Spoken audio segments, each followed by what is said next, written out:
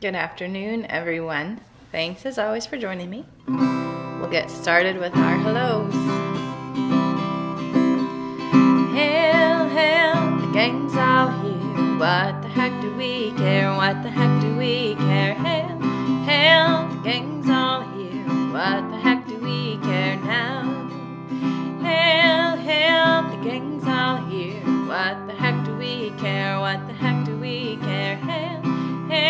gang's all here. What the heck do we care now?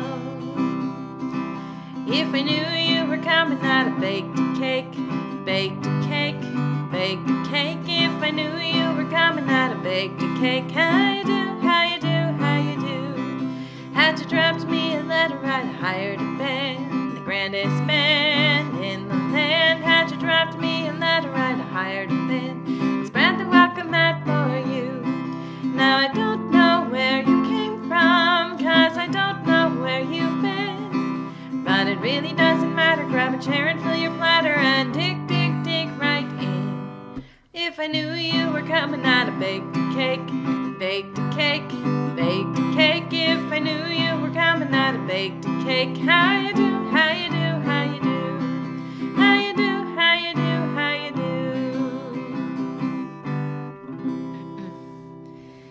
So today, I thought we would do, I would encourage you, as always, to sing along with me. But not only that, so all of the songs I chose are singable in that you probably know them pretty well. They're pretty common songs that everybody knows. So please sing with me, and then we'll talk about why singing is good for you. And I found an article from Time Time magazine that um, lays it out pretty pretty clearly, and I will add in my own experiences and knowledge on the matter, and because that's what I studied is why music is is good for you in so many ways and how it affects your brain. So you can literally change your brain by singing. Did you know that? Because the brain brain is is plastic, so you can retrain the neural pathways to do to help you speak. Maybe if you had a stroke, we can retrain the neural pathways around the injury through singing. And I'm going to go on my high horse a little bit today, I think, probably. So I'm going to try to rein it in and not get too too nerdy on you. so we'll we'll sing first. How about This Land is Your Land?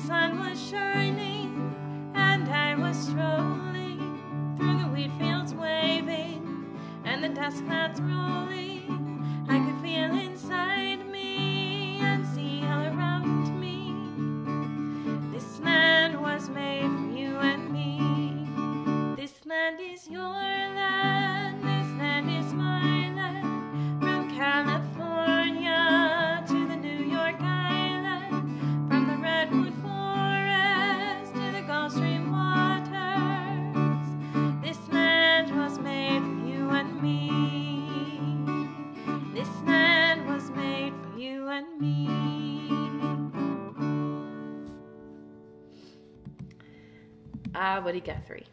Okay, so Time. This is by Stacy Horn on from 2013. So it's a little old, but still good. When you sing, musical vibrations move through you, altering your physical and emotional landscape. Group singing, for those who've done it, is the most exhilarating and transformative of all. It takes something incredibly intimate, a sound that begins inside you, shares it with a room full of people, and it comes back as something even more thrilling harmony. So it's not surprising that group singing is on the rise. According to Chorus America, 32.5 million adults sing in choirs, up by almost 10 million over the past six years. Many, many people think of church music when you bring up group singing, but there are over 270,000 choruses across the country, and they include gospel groups to show choirs, like the ones depicted on Glee, to strictly amateur groups, like Choir, Choir, Choir, singing David Bowie's The Man Who Sold the World. As the popularity of group singing grows, Science has been hard at work trying to explain why it has such a calming yet energizing effect on people. What researchers are beginning to discover is that singing is like an infusion of the perfect tranquilizer, the kind that both soothes your nerves and elevates your spirits. All right, and hopefully in the next several months, we can get back to group singing.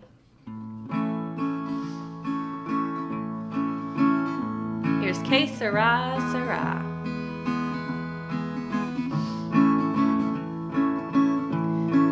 When I was just a little girl, I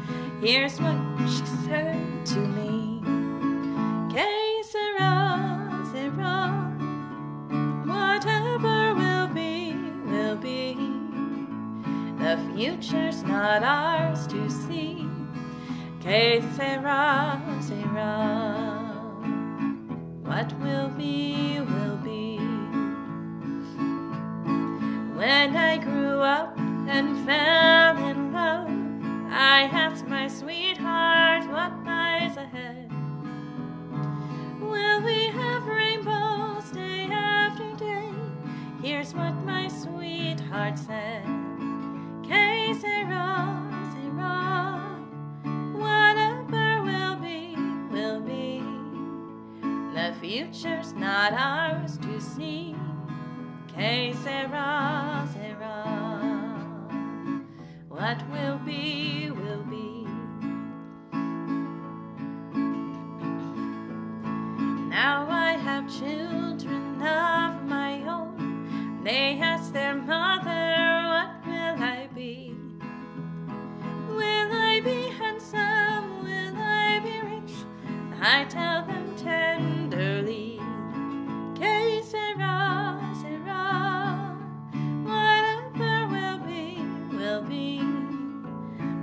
future's not ours to see.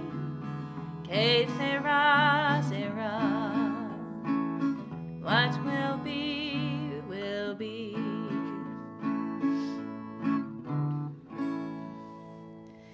I feel like I sing that one quite often, but I do intentionally because people know it and they sing along without me prompting. That one is one that people just know really well and they really enjoy, so they sing along. So, the elation from singing may come from endorphins, a hormone released by singing, which is associated with feelings of pleasure. Or it might be from oxytocin, another hormone released during singing, which has been found to alleviate anxiety and stress. Oxytocin also enhances feelings of trust and bonding, which may explain why still more studies have found that singing lessons lessens feelings of depression and loneliness. A very recent study even attempts to make the case that music evolved as a tool of social living, and that pleasure comes from singing together is our evolutionary reward for coming together cooperatively instead of hiding alone, every cave dweller for him or himself. the benefits of singing regularly seem to be cumulative. In one study, singers were found to have lower levels of cortisol, indicating lower stress. A very preliminary investigation suggesting that our heart rates may sync up during group singing could also explain why singing together sometimes feels like a guided group meditation. Study after study has found that singing relieves anxiety and contributes to quality of life.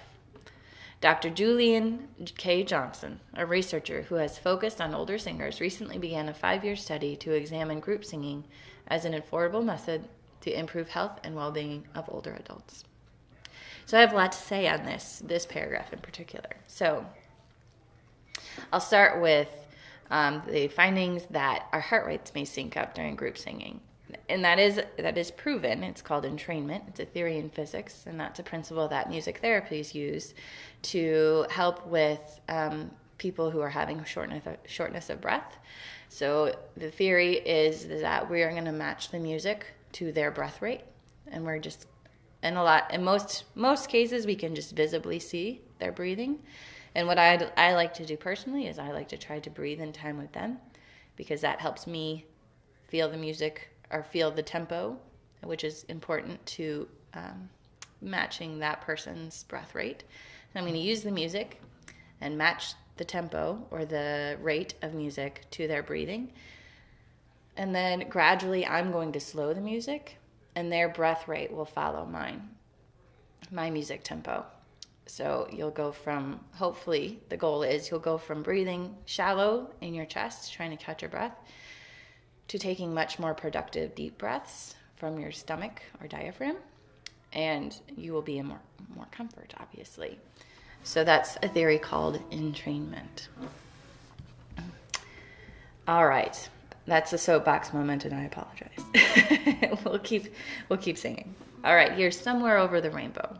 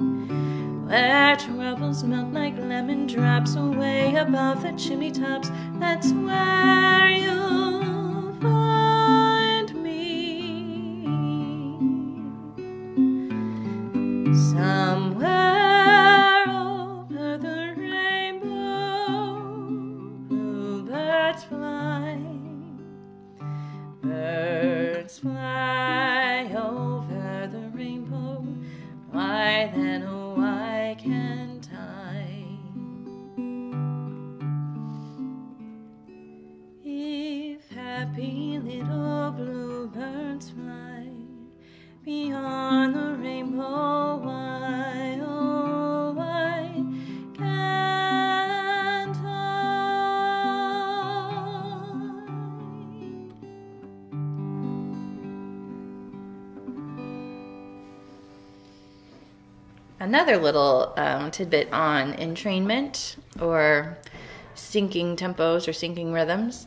Um, when I was in my internship, I, I did my internship 10 years ago now in uh, at a hospice in Chicago. And they had a program where they their policy was that music therapy was um, included as part of the treatment team in every single extubation that they did. They had several inpatient units around the around the city, and so they would um, admit admit people from the hospital to their inpatient unit, which was usually like located in the hospital, knowing that they didn't have a lot of time left. And so, if that was the case, the music therapists would come in um, early before the, ex- the scheduled extubation and meet with the family and discuss what the, the patient's preferences were in terms of music and just to learn a little bit about the patient and what was important to them, but also what's important to the family. And then music would start about a half an hour before the extubation was to take place, and we would do music with in the entrainment technique. So the tempo that we would play would match the tempo of the breathing of the patient. And that's a little bit easier because you can hear the vent breath rate. So it's it's an audible um, sound that you can match with your music. And the music continues at that rate, the same rate as the vent, through the extubation and then 20 minutes afterwards. And that is to provide a cue for that patient to continue breathing on their own without the vent. It's a cue for that their body to entrain to the music to breathe at the same rate that the vent was breathing for them. And studies show that they those patients that had extubations with music therapy present lived longer than those who didn't. So that was more time for those those family members to say goodbye. It was more time for that that patient to say goodbye. Um, and I'd have done a couple, and it was life changing, and it was difficult because I'm. The first time it's difficult because there's just a lot of sounds and there's a lot of emotion and um, it's a lot to process and a lot to to um, facilitate as a new professional, but it was really great. It's a great experience, and um, I know that they still continue that, and that is still their policy ten years later. So the more you know. Okay. Um, let's see, where did I end up? It turns out you don't even have to be a good singer to reap the rewards. I say this all the time when I ask if people like to sing, and they say, No, I can't sing. I can't carry a tune in a bucket. And I say, I don't care what it sounds like, just sing. According to the 2005 study, group singing can produce satisfying and therapeutic sensations even when the sound produced by the vocal instrument is of mediocre quality. Singing groups vary from casual affairs where no audition is necessary to serious, committed professional or avocational choirs like the LA Master Chorale or in New York City. When I joined, when the author joined and was 26 and depressed, all based on a single memory of singing in a choir at Christmas, an experience so euphoric I never forgot it. And I literally took a class on this in college about the psychological effects of music and maybe um, in the physiological effects on your body in, of, because of music. So maybe have you ever been to a live performance and you've gotten goosebumps or chills? Or have you ever been maybe you like to meditate and you just start crying or laughing or it's just it's so hard for scientists to study music because it's so personal it's not tangible. It's evoking emotions, and that's really hard to study and quantify. So, um, also, uh, I should mention right now there's a lot of studies happening in from Iowa State University on music therapy. So Iowa State does not have a music therapy program, but they have a music therapist on staff in their research department. And she, her name is Elizabeth Stogmeyer. I'm not saying that right because it's a very German with the it's just a very German name and I think it's I think it looks like Stogelmeyer, but I think it's pronounced Stogmeyer. It could be. Anyway, she is heading up one of her biggest research projects right now is um, studying singing on Parkinson's patients. And her study is um, studying the effects of singing on the muscle retention for Parkinson's patients in terms of swallowing. So she is having um, a group, a singing group. They've all signed up and, and agreed to participate in her study. They meet several times a week, I think for 45 minutes, and they do singing exercises. And she is studying the effects of the singing on the, on the throat muscles and the abdominal muscles to help continuing, uh, help encourage the their ability to swallow independently. And it's not improving the swallowing, but Parkinson's is a degenerative disease, and um, so her study is finding that they are maintaining their swallowing ability. So they are still con- able to continue everything that they have been doing because of, well, theoretically, because of this, uh, these singing exercises that they're doing. So I, if you have a moment, look it up. She's doing incredible, incredible work for studying music in the brain. So, from from Iowa State, Iowa does. The University of Iowa does have a music therapy program, and it's a very great program, from what I hear. I did not go there. All right, here's another one: the old rugged cross.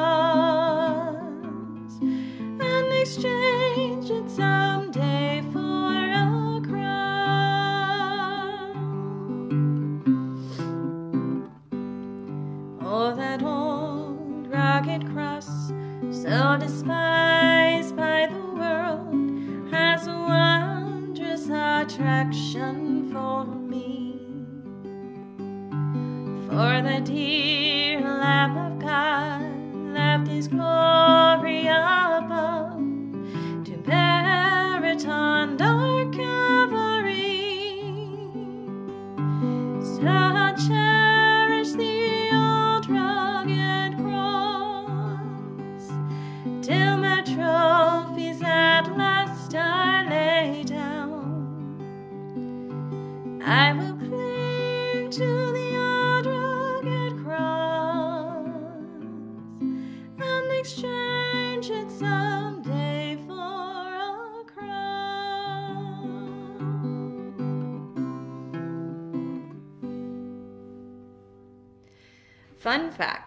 Did you know, also in part of the coursework, we um, studied how not only how music is processed in the brain, but how our brain receives music and inner workings of the ear and all of those things.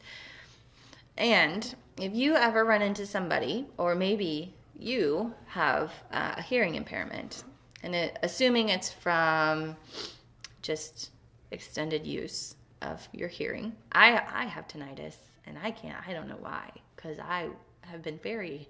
I think I've gone to two rock concerts in my life, and they were outside. One of them was outside, but and I asked my doctor about it, and he's like, it's just something that happens, but man, is it annoying. It's pretty annoying. Anyway, I got off track here. So if you or anybody you know is hard of hearing, the part of the hearing that you lose first is hearing at higher frequencies. So if you are unable to hear somebody or somebody is unable to hear you, all you have to do, well, not all you have to do, it's not 100% effective depending on the extent of the hearing loss, but if you lower your voice, not in terms of volume, but in terms of pitch. So I have a pretty high voice. So when I'm talking really loud, it gets higher. And I'm talking loud so that people can hear me. But really, what I need to do is lower my voice, lower the pitch of my voice, because those wavelengths are heard better in people with hearing damage. So you don't lower the volume of your voice, you lower the pitch of your voice, and people can hear you better. You still need to talk loud, but you, you, you speak at a lower frequency. That is also why when I sing um, in groups, I sing songs in lower keys so that one, people can sing along. It's more inclusive for people who don't have high voices. I don't really have a high voice. And two, so people can hear me better and I don't have to work so hard to get the sound out. Fun fact the more you know. hurt. Here's a, another hymn that everybody knows in the garden. I come to the garden alone while the dew is still on the roses and the voice I hear falling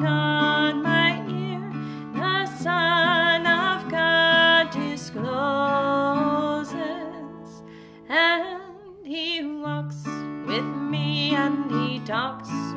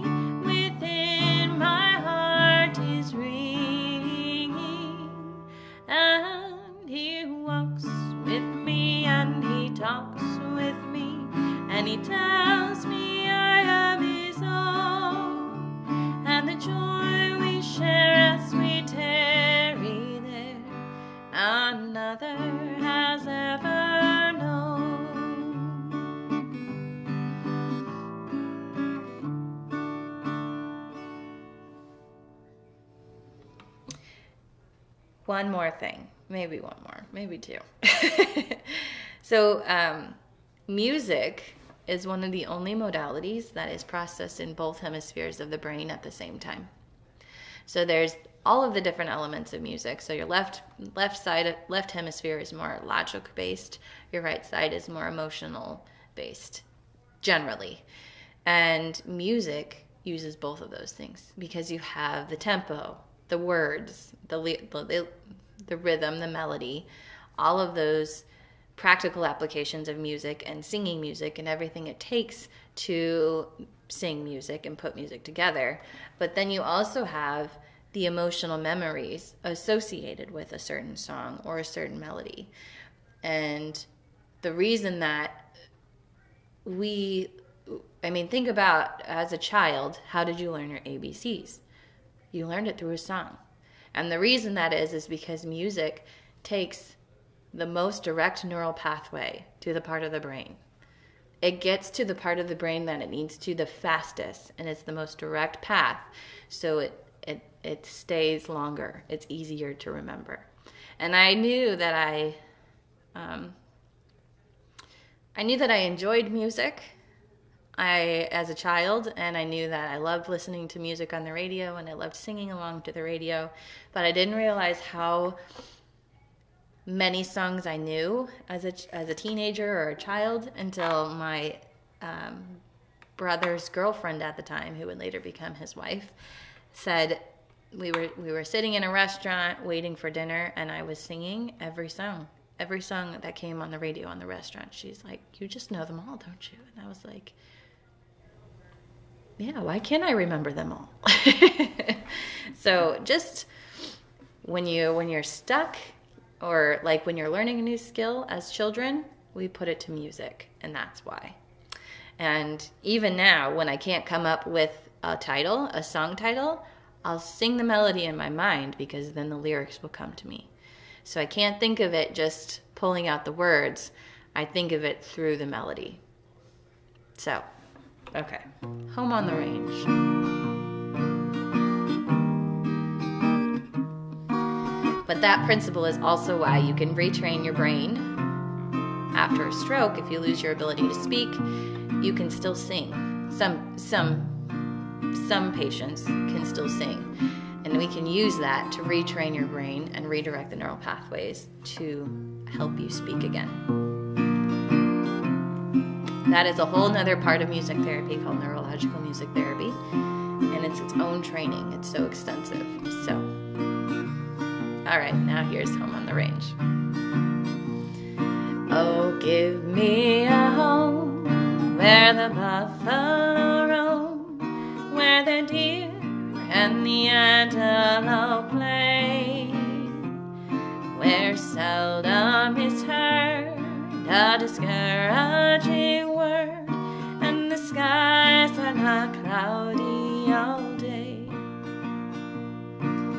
Home, home on the range, where the deer and the antelope play, where seldom is heard a discouraging word, and the skies are not cloudy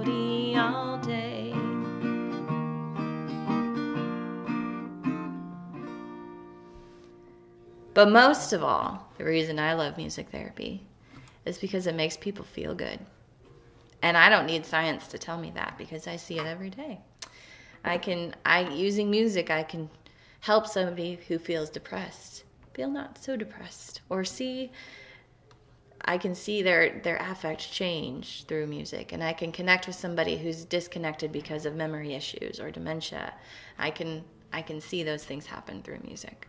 So for me it's of course I need the science. I need I need the evidence-based practice and my profession needs that. But for me, it's less about proving to people that it works. It's more about being in the moment with somebody and watching them change for the better because of music.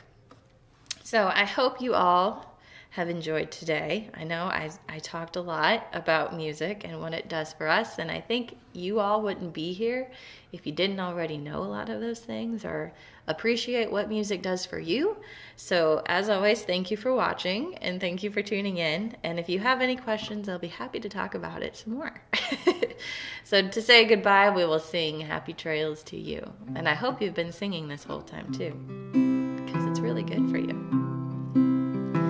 Happy trails to you until we meet again. Happy trails to you. Keep smiling until then. Who cares about the clouds when we're together? To sing the song and bring the sunny weather. Happy trails to you until we meet again.